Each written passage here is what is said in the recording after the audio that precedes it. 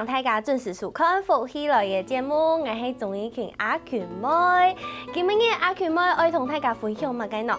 诶，大家啲呀，挑牙菜，挑牙菜系乜嘅？大家可能想到讲，诶，就喺市场买嘅一包二十克、三十克，一胎包的绿豆芽，那个绿挑芽嘅嗰种挑芽菜。这种挑芽菜有乜嘅好讲嘅哦？就是很很简单呐，那可能去铁板烧，你就会吃到诶一胎一大把一大碗的那个豆芽菜的料理，不是就是这样而已吗？唔过啊，其实啦，呀挑芽菜有当多无穷样的种类，用无穷样的调味，甚至是发展成挑苗菜。你看有这么多种东西，今日 enjoy 来同大家来小见好，对苗栗来的一只有机的芽菜的。农场加到种的同多种种类，培养的同多种种类的挑苗同挑芽，爱同大家来分享哦。大家来分享这两姐弟哈，先来欢迎姐姐，欢迎如萍分享。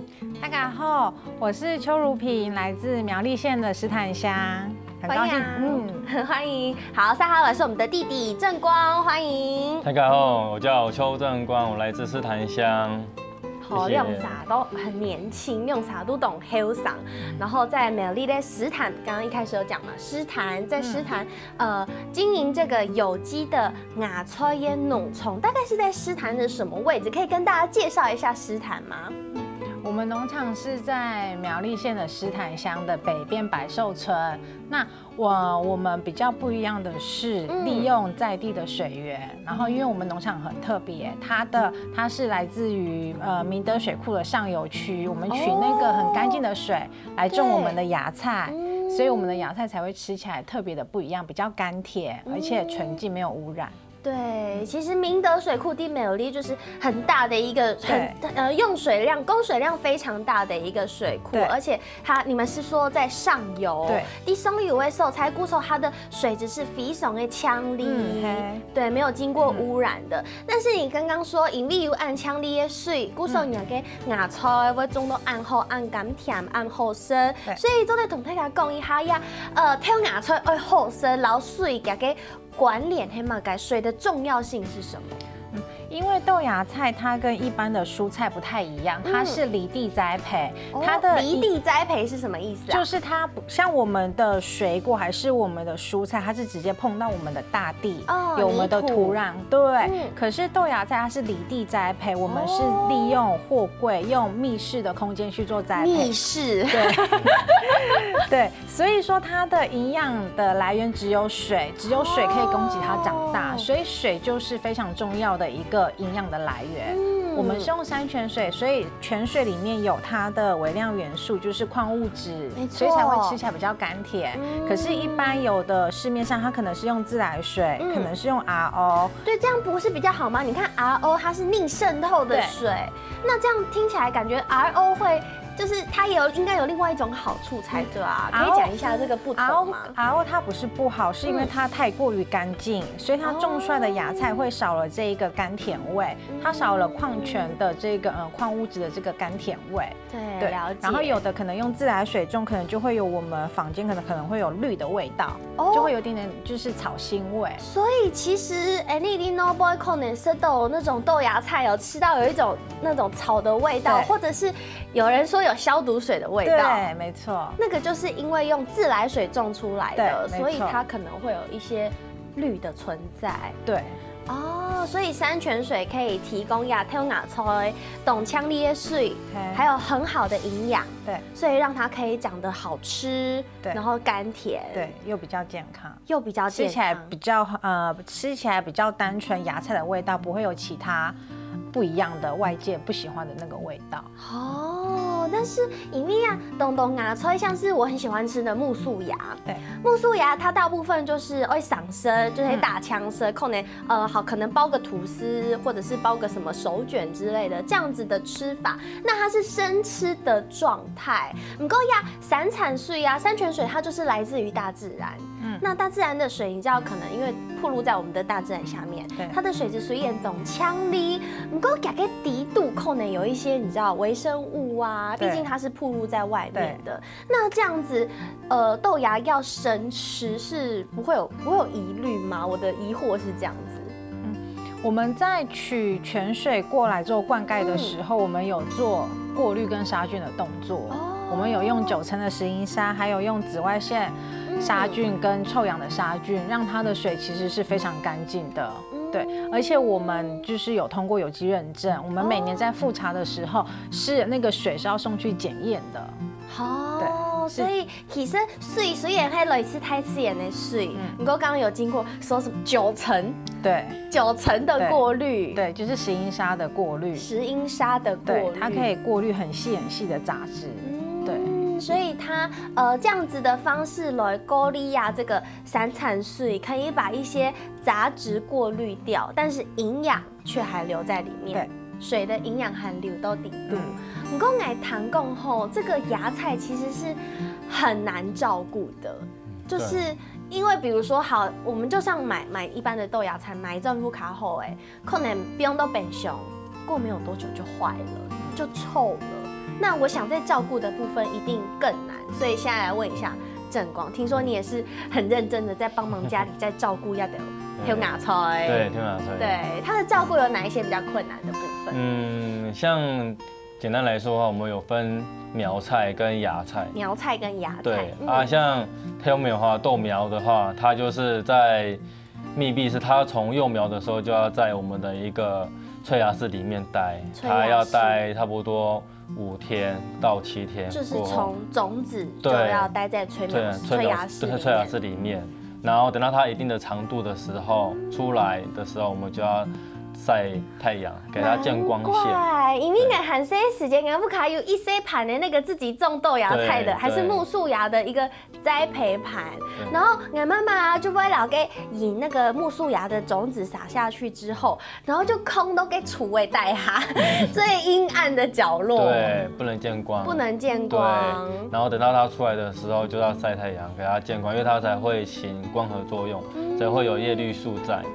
对，所以其实催芽的部分也是要经过这么长的时间，给撒好了第一个照顾的时间，是不是全部都要用人工的方式？对，像我们可能撒种，我们可能先做土，因为我们土可能是德国有机土，嗯，然后加我们的碳化稻壳，就是对，我们就是去混合，嗯，然后做一个就是土壤，然后他们就哎种子就直接铺上去上面种。对，然后我们就放在催芽室里面。对，所以像比如说，哎，你去 Noble 买耶那个绿豆芽，那个绿豆芽的豆芽菜，它可能 Noble 会有一些绿色的那个 tail hop，那个绿豆的豆壳。对，对，那这个是应该要去掉的吗？对，像我们。呃，绿豆芽的话，就是我们采收，我们是从密闭式采收出来的时候，我们要用清水洗。清水洗的时候，我们就会经过三到四道的清水去洗，把它的壳洗掉。还要经过散散都洗头的水去洗，脏洗也强。但是它豆芽不是很脆弱吗？我们有一个篮子，我们可以用就是一个容器去洗它，对，让它的壳会流掉。然后我们会有经过三到。四道的水去清洗，所以洗出来的绿豆芽它是壳跟豆芽都分开的。对。顾总，我还有一张问题，就嘿，俺一开始讲哎，那个豆芽菜买回家很容易就坏掉了。对。那尤其是在你们生产端，你要得爱老给保损它后，要让它维持在最新鲜的状态。那你们很用的来保损，要得挑牙老挑没哎。嗯，像绿豆芽的话，我们可能就是我们洗完的芽菜，我们会冰镇。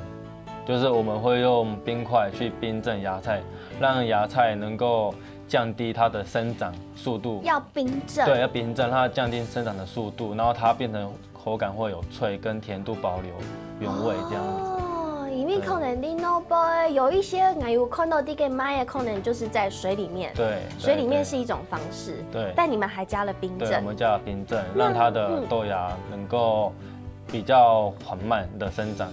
那冰的那个温度是不是也不能太低？太冰它可能就结冻了，对不对？对，我们是用冰块。冰块。对，冰块去冰镇它。了解。鼓手啊，撒好了，我就会来同大家来分享后米西流来来做烘鸭盘是紫高丽菜的 tail 啊。那今天正光跟如品还有帮我准备这个手卷的部分，大家可以麻烦正光帮我包手卷。来先来色克纳呀，这个高丽菜高丽菜芽的 Q 干。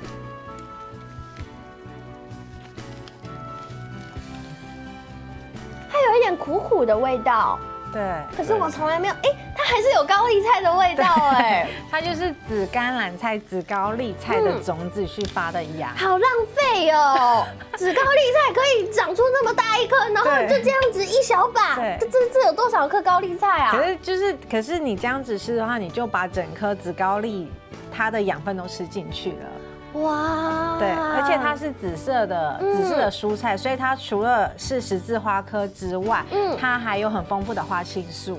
哦，因为我们平常对很少，我们必须吃到紫色或者是紫红色的蔬菜水果才有花青素。对，对啊，可是你吃这个芽菜，你吃一小把，其实你就吃进去很多的。紫高丽了，而且花青素是一个非常好的抗氧化的一个成分，对对不对？好，等下还有韩卡豆的红米西儿童泰家来分享，先休息一下。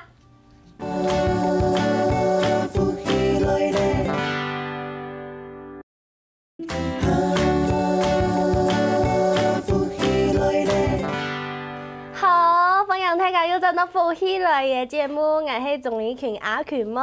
今日嘅节目里头爱同大家来说嘅系苗栗市他们有机芽菜农场，加条种动到无强养品种，无强养种类，可能有动到系唔冇糖过、唔冇看过嘅芽菜。哦，呀阿群妹就到嘅爱青好嘅试吃时间，哈哈哈！刚好广告嘅时间，正光同啊，呃，用加条嘅芽菜。保卫这个很棒的这个手卷，后压阿 Q 梦雅就会了色溜，里面满满的很扎实，口水都要流出来了，好快哦！要记住保卫毛干。像手卷里面的部分的话，它里面有木树芽跟豌豆苗，还有我们的紫高丽苗、紫高丽芽。嗯。还有五谷粉，我们自己调配的五谷粉。五谷粉。对，芝麻五谷粉。嗯。还有我们的红萝卜跟苹果。好好吃哦。对，所以里面我们我们芽菜很扎实，所以吃起来很爽口。而且非常非常的脆，因为调白奶是嗯那个豌豆苗。嗯。其实我以前小时候记得我吃豌豆苗的时候，是我去吃牛肉面。一间连锁的牛肉面哈，好，然后上面都会放一些芽菜，然后它会淋那个热汤，把它有点焦熟的感觉。对。但是我小时候好害怕那个豌豆苗的味道。豆腥味。对，它就是有一个等情处很明显的那种葱爽了的那种豆豆芽的味道，然后我每次都偷偷夹给我妈，因为我不喜欢吃那个豆芽菜的味道。你讲亚哈俺黑是散的，俺黑散色。你讲是哈黑是只是有一种。豆豌豆的那种清香，它没有到让我觉得好像冲上来非常重的那种豆腥味。点豆感有色豆、冻豆、t e 还有刚刚那个呃正光说的，你有加五谷粉，对，然后还有加苹果，那种甜甜香香的味道。对，对，但是呃 t e 它部分饮好像就是生吃，对，一般来讲大大部分都是生吃，那它可以煮熟吃吗？它也可以熟，但是我们都通常会建议，嗯，因为我们吃芽菜是要吃它的酵素营养，酵素芽菜里面有酵素，对，因为它是在发芽的那个瞬间，它它的能量会转换，就是会有很多的酵素。那酵素它是最怕温度的。所以你如果今天用高温去可能穿它还是快炒的话，酵素它就是呃浓度就会降低，酵素的浓度会降低。对，所以尽量能够生食，当然是生食是最好的。嗯，而且其实生食可以让不给给 Q 干含含卡切含卡甜。对，如果你经过热水或者是温度去煮它，或者是让它泡过热水的话，它那个脆的口感就没有了。对，就会稍微降低。对，就会减少，而且营养也会减少。不说啊，同太家讲哦，牙菜轻量而上升。那既然要生吃，我们当然就要吃最新鲜，而且薄肤清喉，所以这轻厚诶这种豆芽菜，因为毕竟 any 会上升的东西，所以来自百寿有机农场的，你看有过滤过山泉水，中出来皮用出来也芽菜，是不是吃起来就会比较安心吼？好，三下来就会来同大家来讲，哎，你亲平常时亲接食、亲接看到的绿头芽的豆芽菜，呃，我给大家看一下，呃，正光跟如萍带来的这个豆芽菜，你们的豆芽菜，它看起来好健康哦。它不只是，它好像没有外面的粗，但是它感觉它是，你看它是很硬的，很扎实，很脆，超级扎实。然后可能这样一折，它就断了。为什么会有这样子的差别？一定 noble condo 会六条牙没按呢耶。因为我们我们在种的时候完全是用有机栽培，它是只有靠水长大，没有再添加一些外面可能嗯俗称的可能生就是荷尔蒙，就是植物性的荷尔蒙，让它会长得比较粗壮。生长激素。对。所以外面的六条牙可能不会加压的生长激素。还有膨胀剂那些。膨胀剂是什么东西？为什么要加膨胀剂？因为它的绿豆芽它会膨起来，它就是在栽种的过程中，因为因为。他们外面种的话，可能没有一些技术层面，所以他们要利用药物的话，药物的控制去让豆芽菜长得比较大、比较长，让它的分量会比较有量。对，比较大、比较长。说到这个，鸟不卡爱六条牙，它没有很强哎，有点短。你知道有一道料理叫做什么？银牙要塞到什么东西里面？你们家的可能会塞不进去，因为太短了。为什么会有这种差别？长短，因为我们绿豆芽的话，就只就是刚才姐姐说的，怎么只有靠水去生长。像里面的话，它绿豆芽生长过程中，里面货柜物是密闭式的，它因为要水温的控制跟温度的控制，所以会影响到它的豆芽，会影响到它的长它的长度或长短，所以其实这样子的长度可以吃眼对。对。最自然的生长的长度。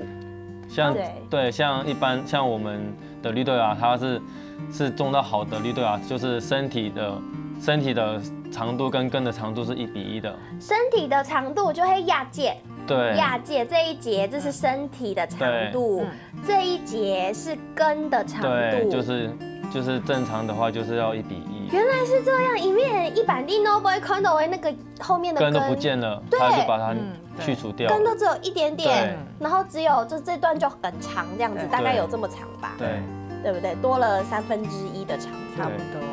所以其实正常的芽菜应该是这个长度的，跟须根的跟这个根的芽这个比例应该是这样才对，一比一的比例。韩国前一步的还有看到新闻讲嘛，该挑芽菜有放漂白剂，我想说为什么豆芽菜要放漂白剂？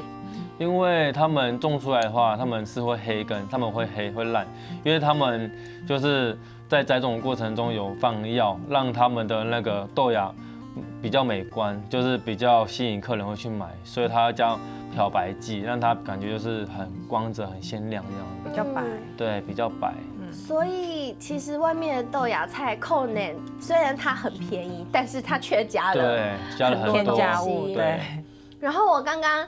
那大枪生就生吃豆芽哦，我吃到甜甜的味道，而且是上面的那个豆的那个味道也还在，可是都完全的就会甜，韩国完全没有没有菜的味道，冇菜耶米西，所以这就是你看山泉水中出来耶。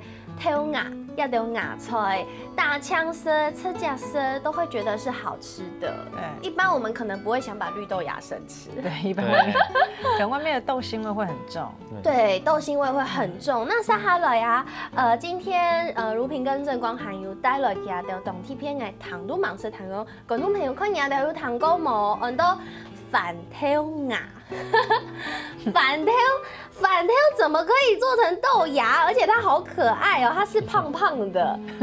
这个是反挑芽，反挑芽可以吃吗？可以。对，怎么会想要就是发展出这个我从来听都没有听过的花生你可以先吃一口看看，它有很香的花生的嗯清香味，而且它很脆，真的，而且。哎，这是好吃的耶！这个因为像跟黄豆芽不一样，黄豆芽它虽然也可以吃得到豆的那个口感，所以我很喜欢吃黄豆芽。嗯，但是这个豆的口感更重，对它比较脆香。对，而且它因为它的芽菜比较胖，嗯，它的芽长得比较强壮，所以它吃起来是懂切懂厚色嘞。这个如果放到那种。手卷，不管是海苔包的，或者是刚刚那种润饼皮包的，对，那个脆度的口感超棒的耶，就可以加分很多，就是已经脆到有点像碧琪的那种脆度喽。嗯，对，所以这个反挑啊，应该全台湾没有多少人有中这个吧？对，这个目前是很很少很少农场在种这个，因为它栽培非常不容易。我们这个花生是选自花莲凤林乡的花生，嗯，对。然后我们呃花生收购来之后，我们还要做很多道的挑选，把品质不好的花生仁去掉。因为花生我们都知道它很容易感染黄菊毒素，很容易生病。对，它只要一生病了，它的胚胎胚芽就不能够发芽，胚芽就会泛黑。所以，安利斯豆芽这个有发芽的花生，有泛芽诶亚在蒙呃反挑诶，所以它是绝对不会有黄曲毒素存在的，因为如果有。它就不会发芽，它就不会发芽了。对，没错。所以跟我们，我可能以前会觉得说，哎，好像发芽的花生应该可以种我们的生嘞。嗯，其实是可以吃的。其实是可以的。而且发过芽的，对，而且发过芽的花生，它有很丰富的白藜芦醇的这个养分在。再说一次，白藜芦醇，白藜芦醇，对的养分，对这个养分，它对我们的就是嗯心血管很好，然后它有抗氧化的功能。对，所以好神奇哦，看要的调味要的饮。呃，本来它可能没有一些营养，没有一些酵素，但是经过发芽、包芽一样，它勾长底度，像绿豆芽，它本来没有维他命 C，对，但是它因为发芽的过程当中，对它的维他命 C 的能的成分就产生，就很神奇。对，所以其实你看吃这个，你看种子长大的过程，吃这个菜苗的 baby，吃这个芽菜是最营养的。古手啊，先休息一下，等下再要同大家分享。好，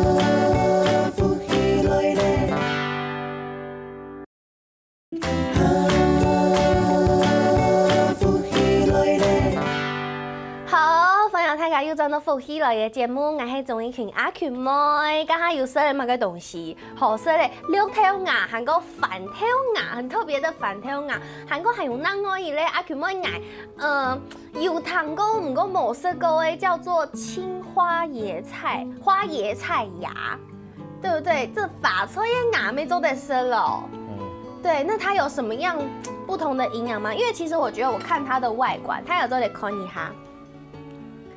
它看起来就是木素芽，我分辨不出来，可以跟大家讲一下这个青花椰菜苗，它的呃跟木素芽要怎么样的分辨？那它有什么样的营养吗？像青花的话，青花苗它也是十字花科的，可是它的它的口感吃起来有点像瓦萨米的味道，就是有辛辣辛辣的味道。像青对，像它也是十字花科，像它里面也有含维生素，也有里面也有含一些铁质、钙质都有。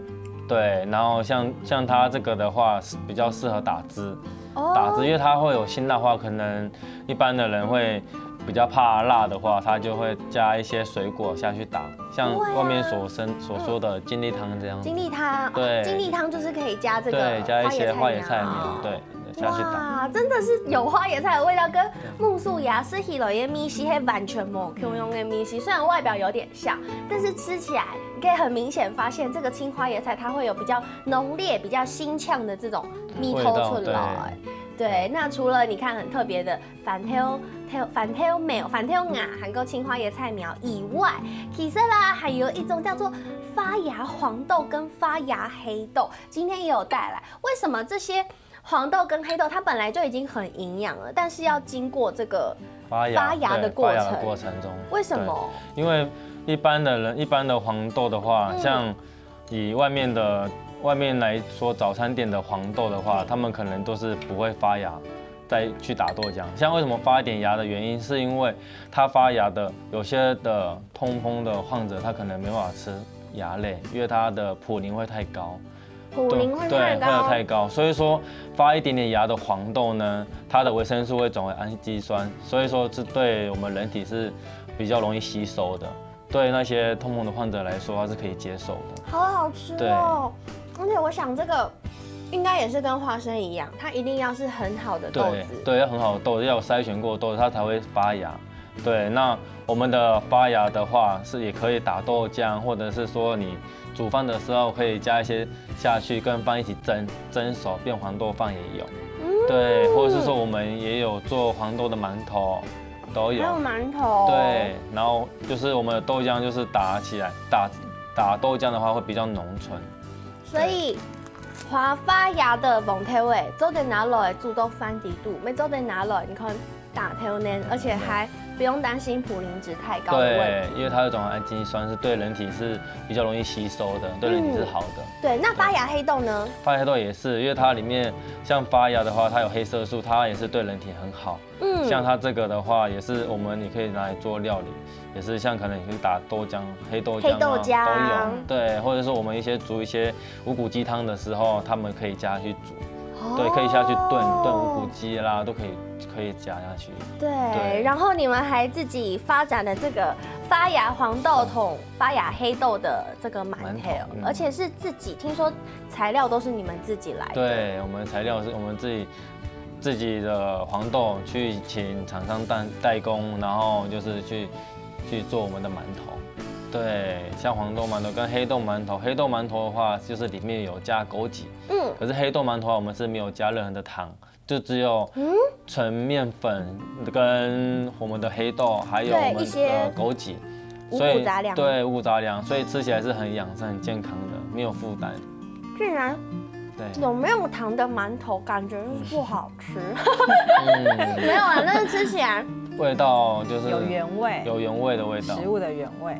没有，我觉得因为它里面加了一些五谷杂粮，我好像有吃到像是南瓜子，嗯还是那个向日葵种子的那种豆豆的感，觉。豆香，然后还有枸杞，其实不要小看枸杞，枸杞它是很多料理甜味的来源。对，对对眼睛很好。对，而且还有又营养，超毛。古上我看饭牙的蒙特味同饭牙的五特味拿来做这个馒头，对呀、身体空间浓对不对？那除了呃刚刚讲的这么多种类的 tail 牙以外，还有另外一样产品叫做 tail 苗对。豆苗。今天也有带来，这个桌上的这一道是什么豆？什么豆苗？对，这个的话是萝卜缨，紫萝卜苗。